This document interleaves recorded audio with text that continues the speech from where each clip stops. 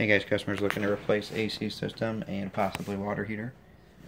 So we got a 40 gallon, 40,000 BTU water heater.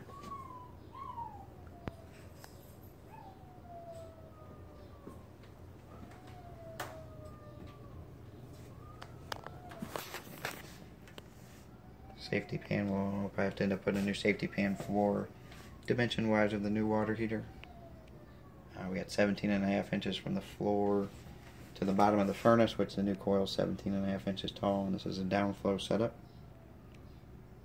Floor drain is there, line set is there, so we'll flush out the refrigerant lines, make sure they hold pressure.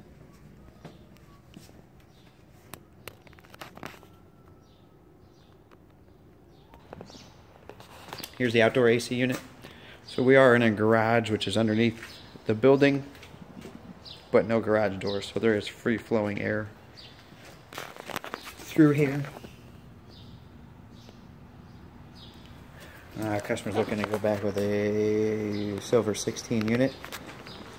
So as you can see, this unit here sticks out further. Uh, with the new unit, don't stick out any further than this one does, so that the person here can still back in and out. New disconnect, new whip. Lines are getting flushed out. And then the breaker and all the electrical boxes for the AC units are over there in that corner.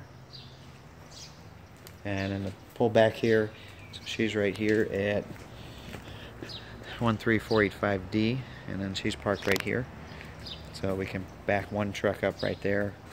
Um, I'm assuming the other one could probably get in right there or talk to the neighbor about staying right here.